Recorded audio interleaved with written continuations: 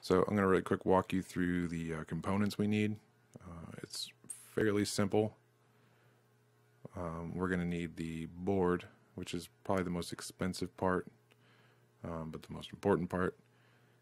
Uh, I'm going to take you over here to uh, Amazon. It's probably the more expensive route. However, if you're a Prime member, you can get it here fairly quickly.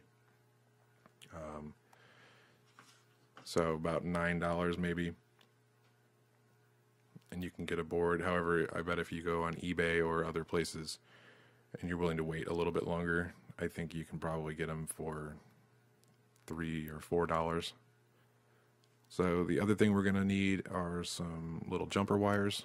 Uh, you can buy these if you've already got some electronic stuff laying around. You probably already have some of these. Um, this is pretty expensive. I definitely, uh, if you're willing to wait, I, I would go to eBay. Um, I bet you could get these for a, a couple of bucks. Um, but again, if you want them quicker, do it this way. Or you could, I mean, you could go to a hardware store, one of the bigger ones, or an electronics store if they still exist. Um, if you can find a Radio Shack or something, and get some wire and just cut it and strip off the ends if you want to do it that way. Really, we just need some wires, and we're only going to use two.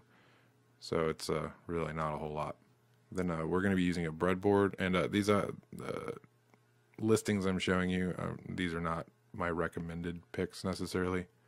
I'm just uh, finding something really quick to show you. But if you're not familiar with a breadboard, this is what you need. Um,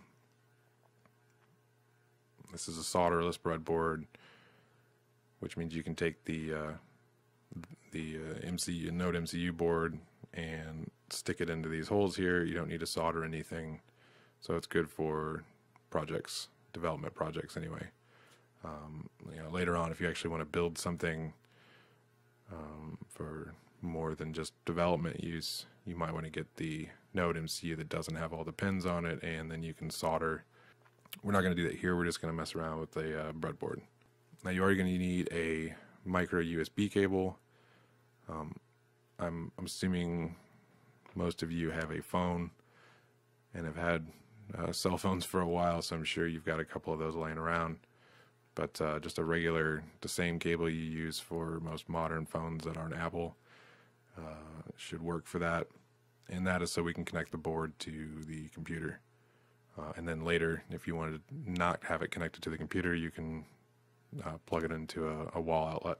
Then, uh, lastly, we need an LED light. We just need one. Um, I'm using blue. Uh, it, it doesn't matter which one you use, um, as long as it's not RGB. That's a different kind. That's going to have more than two pins. And uh, and I'm only using blue because I'm using a, a green screen backdrop on the uh, uh, under the uh, breadboard, and I don't want the light to disappear when it turns on if I'm using like a green light.